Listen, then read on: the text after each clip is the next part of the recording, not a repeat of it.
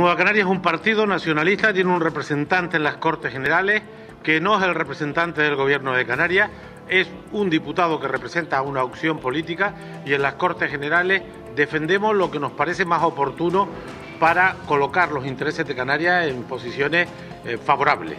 Eh, hemos sido, apoyamos al señor Sánchez para que fuera presidente del Gobierno, hemos apoyado todas las decisiones, pero se ha generado en torno al estado de alarma un conjunto de negociaciones y el Partido Socialista Obrero Español a nivel federal tiene que comprender que Canarias es distinta y por lo tanto hemos sido exigentes en cuanto al compromiso del señor Sánchez frente a la crisis económica de Canarias y sus perfiles propios. Y de manera especial le hemos exigido que el superávit, que venimos hablando de ello durante meses, por no decir años, y por supuesto la capacidad de endeudamiento de nuestras instituciones para combatir la crisis económica, se lo hemos planteado, ha sido poco claro, allí defendemos nuestros intereses, Pedro Quevedo solo rinde cuentas a la Dirección Nacional de Nueva Canaria y el lunes tuvimos una reunión de tres horas y dijimos o es claro y se compromete en utilizar el superávit en la deuda y en un plan especial y claro con respecto a Canarias o no apoyaremos sus iniciativas. Es una primera decisión y en ese terreno, en el ámbito estatal, decidiremos en cada momento lo que la dirección de Nueva Canaria considere mejor para colocar a Canarias en su justa medida, en el lugar que nos corresponde y fue lo que hizo ayer eh, Quevedo, que por otra parte no ha hecho sino reproducir lo que defienden ayuntamientos, cabildos, empresarios, sindicatos y el propio Gobierno de Canarias. Hizo de vocero de lo que venimos defendiendo desde Canarias hace demasiado tiempo y ha advertido que o hay concreciones, o hay respuestas o no van a contar con nosotros. Así de claro. Pero nos están escribiendo muchísimos espectadores a través de WhatsApp, usted que toca el poder, que maneja la información. Eh, la extensión de Nueva Canarias ayer significa que todas esas exigencias, peticiones que se hacen desde el archipiélago, ustedes no las tienen todavía nada claro. Yo hasta que no lo vea no me lo creo. Llevamos defendiendo la defensa y el uso del superávit años. Lo, defienden los ayuntamientos, lo defienden los cabildos, lo defienden los grupos parlamentarios, los empresarios y los sindicatos y todavía no se ha dado una respuesta. Las necesidades de financiación que tienen ayuntamientos, cabildos y gobiernos están explicitadas. Esos son ahorros de la sociedad canaria toca ponerlos al servicio de esta grave crisis económica y todavía eso no está resuelto. Solo compromisos vagos que no son suficientes para una fuerza política como Nueva Canaria, que tiene un escaño, insisto, para defender nuestros intereses en las Cortes Generales. Quevedo fue claro, dijo lo que pasa en Canarias, expresó la necesidad de un trato justo, de un trato diferenciado. Dijo con claridad que queremos utilizar el superávit porque es nuestro, porque son ahorros de esta sociedad, que queremos endeudarnos porque somos la comunidad menos endeudada, que necesariamente la crisis aquí va a ser más grave que en la media y queremos respuestas claras y contundentes. A otros le han firmado respuestas y a nosotros afirmaciones genéricas. No fueron suficientes y por eso el señor Quevedo se abstuvo, Valdoví, el diputado de Compromís, votó no mm. y otros partidos que estaban en la mayoría progresista empiezan a alejarse porque yo creo que se resquebraja la mayoría progresista que hizo al señor Sánchez presidente. Pero son ellos los que deben ganarse la confianza de quienes les hemos apoyado, digamos, sin contrapartida. Bueno, en nuestro caso firmamos un acuerdo que ahora está en stand-by por la crisis eh, sanitaria, pero que está ahí claramente, entre otras cuestiones, defendiendo el endeudamiento y el superávit. De manera que ayer lo que hicimos fue, como otros, una llamada de atención al Gobierno de España, que hay que contar con los demás, que hay que buscar complicidades, que hay que concretar los acuerdos y con claridad lo expresó mi compañero y diputado Pedro Quevedo ayer en las Cortes Generales. Claro, que esa es la gran pregunta que muchos se hacen. ¿Por qué si el dinero está ahí, que no viene de fuera, que está en los bancos, que no hay que pedirlo a ningún lado? ¿Por qué no lo desbloquean para que se pueda utilizar y destinar, por ejemplo, a servicios sociales, que es fundamental, porque es dinero nuestro? Sin duda, por eso Quevedo ayer con claridad recogiendo una inquietud absolutamente unánime de la sociedad canaria. Insisto, he escuchado a los empresarios, a los sindicatos, a todos los partidos del arco parlamentario, sin duda ninguna al propio gobierno de Canarias y por supuesto ayuntamientos y cabildos reclamando desde antes de esta crisis la necesidad de movilizar nuestros ahorros para responder a las necesidades ciudadanas. Antes era una exigencia clara, inquebrantable, ahora con esta crisis que nos obliga, por ejemplo, a que perdamos casi 1.600 millones de ingresos porque cuando no hay actividad económica sufren las familias, sufren los trabajadores, sufren sin duda ninguna las empresas, pero también las administraciones públicas. Y queremos suplir esa pérdida de ingresos o nos transfieren el dinero o nos permiten utilizar el superávit y o endeudamiento y eso lo hemos dicho por activa y por pasiva. Ayer eh, Quevedo reiteró este compromiso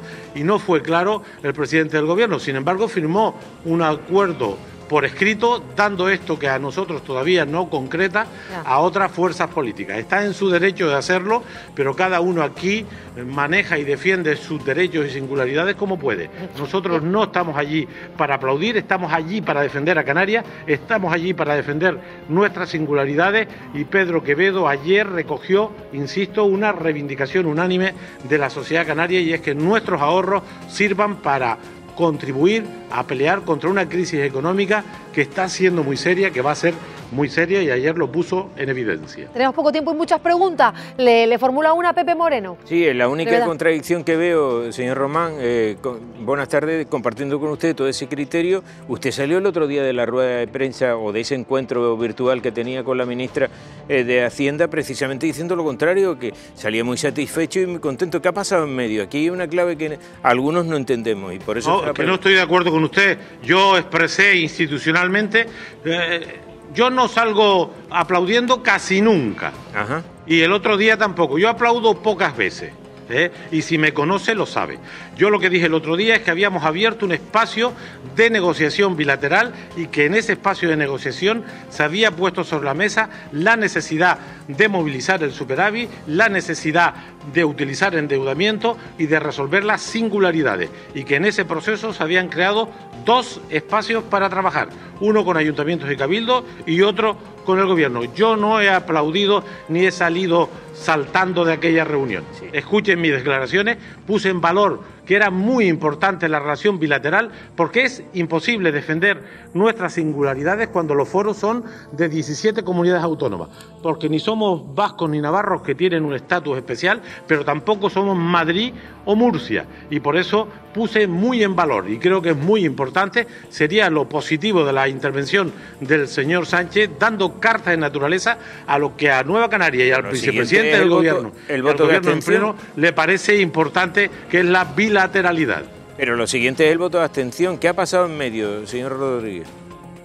No, no ha pasado nada en medio, es que los planos son distintos. Yo sé que hay gente que lo confunde todo, pero cada uno confunde lo que quiere, esto es gratis. En Madrid, Quevedo defiende a Canarias. En Madrid, Quevedo se somete a la dirección nacional del partido. Y yo en el gobierno soy el vicepresidente de un acuerdo de cuatro partidos que también defiende a esta tierra. los, los planos son distintos muy distinto. Valdoví, el diputado de Compromís, que también cogobierna con los socialistas en Valencia, no es que o votó no rotundo, porque están cansados de falta de respuesta. Bueno, pues de la misma manera que Compromís, socio preferente, clave, determinante en Valencia con el Partido Socialista, ha votado en un no rotundo, nosotros hemos sido más contenidos y hemos dicho abstención. Los que quieran buscar contradicciones en eso la, la pueden buscar, pero no la hay.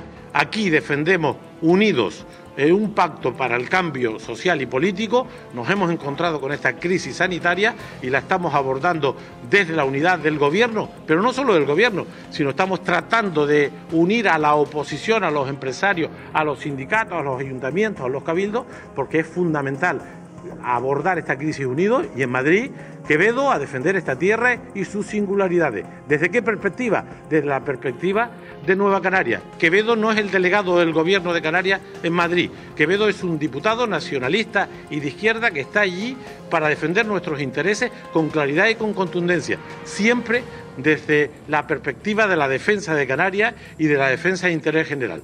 No hay contradicción hay en todo caso complementariedad.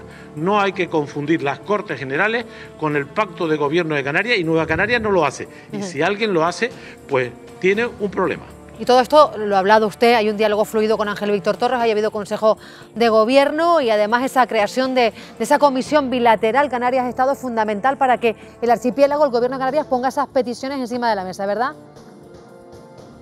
Sin duda. Yo hablo con Ángel Víctor Torres más que con mi familia, entre otras cuestiones porque llevamos 60 días encerrados en este edificio, afortunadamente muy unidos, defendiéndonos frente a la pandemia, organizando a la sociedad canaria, generando consenso y ahora en esta dimensión, consecuencia de la anterior, de la crisis social y económica. Mis relaciones con el presidente del gobierno son diarias, no de 5 ni 10 minutos, sino entre 5 y 10 horas al día, pues estamos juntos en este trabajo. Pero una cosa es el plano institucional del Gobierno de Canarias, donde tenemos programas y concertación suficiente, y otra es lo que hagan los diputados del Partido Popular, del Partido Socialista o de Nueva Canarias en las Cortes Generales. Nosotros lo tenemos claro. Quevedo está allí para defender esta tierra, sin atadura, sin subordinarse a ninguna otra cuestión que no sea nuestro programa y en todo caso la Dirección Nacional de Nueva Canarias. El lunes tuvimos una reunión de tres horas clara. Por, videoconferencia, 66 personas, estuvimos tres horas discutiendo de todo esto y dejamos claro, o existe un compromiso claro del señor Sánchez con las necesidades y singularidades de Canarias, o nosotros vamos a ir poco a poco alejándonos de quien cada vez representa menos lo que al principio pactamos. Y yo creo que en estos momentos, si ustedes o alguien de ustedes quiere ver división, acérquense ustedes al Gobierno de España, al Partido Socialista, porque ayer con la firma de Sánchez con Bildu se ha armado un lío en el Partido Socialista de aquí te espero y creo además que se amenaza la legislatura también con ese acuerdo. Lo digo porque no conozco a nadie contento con ese acuerdo que ayer se conoció al final de la tarde-noche. Mm, sé que se tiene que ir, no ha parado de darnos titulares, se lo agradezco y sobre todo que sigan trabajando igual de unidos con ese diálogo aquí en Canarias.